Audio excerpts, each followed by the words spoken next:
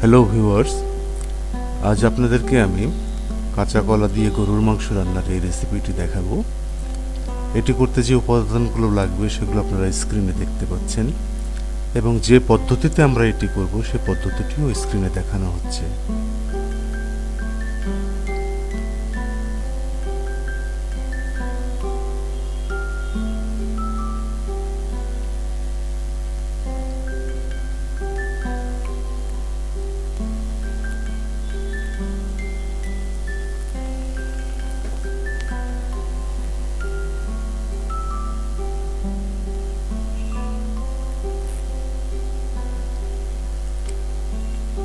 এটি আপনারা প্রেশার কুকারেও করতে পারেন অথবা সাধারণ পাতিলেও করতে পারেন।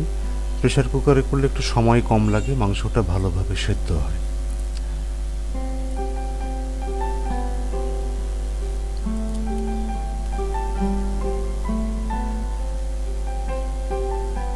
আমরা প্রেশার কুকারে মাংসগুলো দিলাম।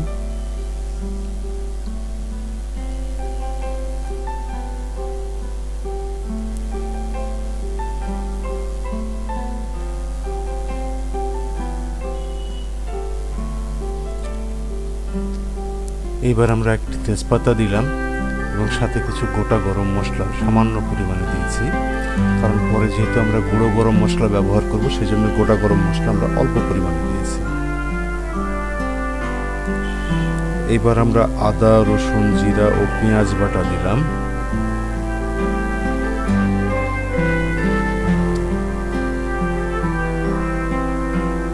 এবার মরিচ গুঁড়ো, হলুদ গুঁড়ো, ধনে গুঁড়ো, লবণ সামান্য তেল মাখিয়ে নিলাম।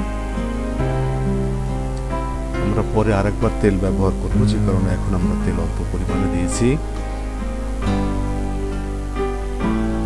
আমরা মাংসটা কষিয়ে নিচ্ছি। মাংসটা কষানো হয়ে গেলে সামান্য পানি দিয়ে আমরা ঢাকনা দিয়ে প্রায় বিশ মিনিট রান্না করব। মাঝারি আছে।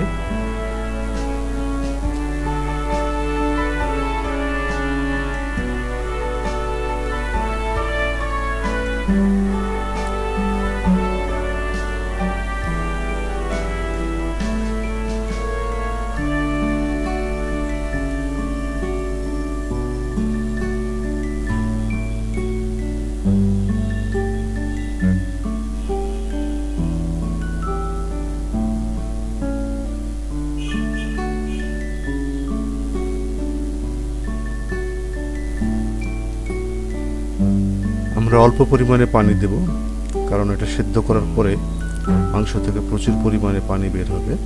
এবার আমরা ঢাকনা দিয়ে প্রায় বিশ মিনিট মাঝারি আছে এটিকে রান্না করব। রান্না হয়ে গেলে আমরা একটি বড় পাত্রে মাংসগুলোকে ঢেলে নেব।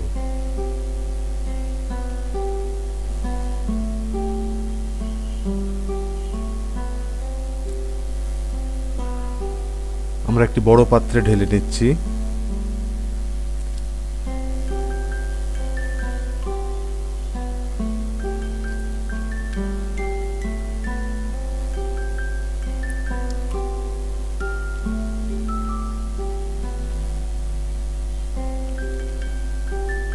এইবার কাঁচা কলাগুলো আমরা দিয়ে দিলাম এবং এটাকে খুব ভালো মতো আমরা কষাতে থাকব।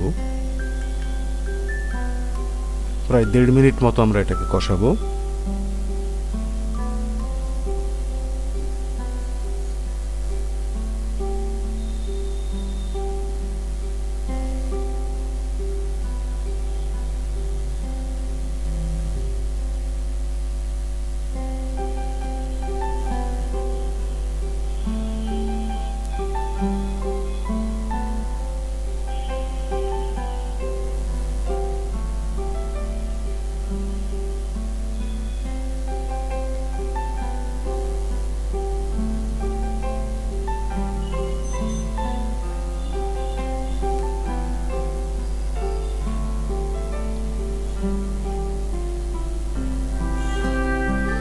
আমরা এখন ঢাকনা দিয়ে ঢেকে দিলাম।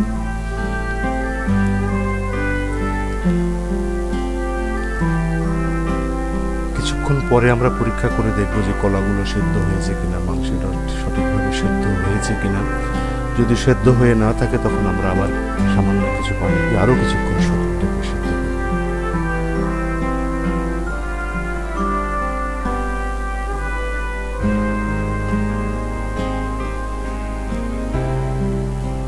আমরা আবার সামান্য কিছু পানি দিলাম, কারণ কলা এবং মাংস এটা পুরোপুরি সিদ্ধ হয়নি।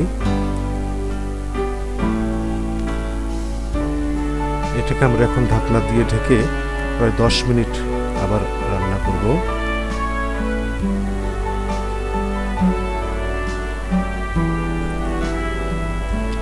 এবার একটি প্যানে আমরা তেল দিলাম, তেলে একটি তেজপাতা দিলাম, এক চিমটি জিরা দিলাম এবং পেঁয়াজ কুচিগুলো আমরা দিয়ে এটা গোল্ডেন ব্রাউন না হওয়া পর্যন্ত আমরা ভাজতে থাকব।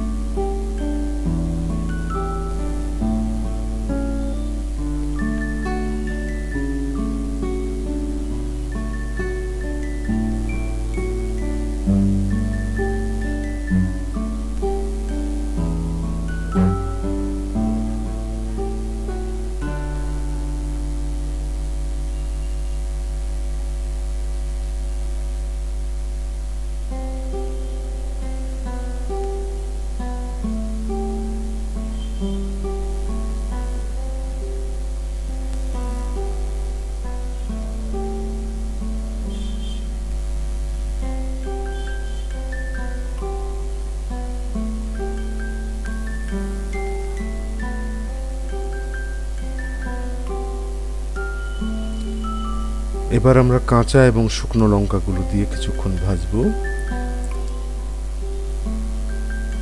এবার এক চামচ গুঁড়ো গরম মশলা দিয়ে মশলাটা আমরা ভেজে নেব।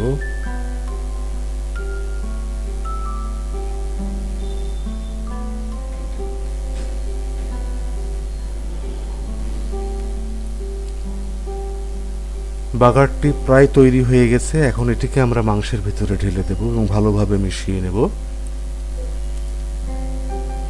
আমরা আমাদের রান্নার প্রায় শেষ প্রান্তে চলে এসেছি।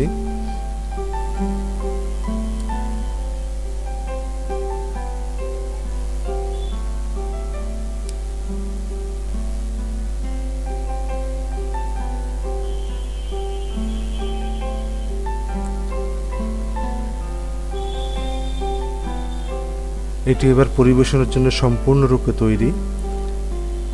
হ্যালো ভিউয়ার্স আমাদের এই রেসিপিটা যদি আপনাদের ভালো লেগে থাকে, তাহলে প্লিজ লাইক শেয়ার এবং আমাদের চ্যানেলটিকে সাবস্ক্রাইব করুন। আগামীতে আপনাদের সাথে আবার দেখা হবে নতুন কোনো রেসিপি নিয়ে। আপনাদেরকে অসংখ্য ধন্যবাদ ভিডিওটি দেখার জন্য।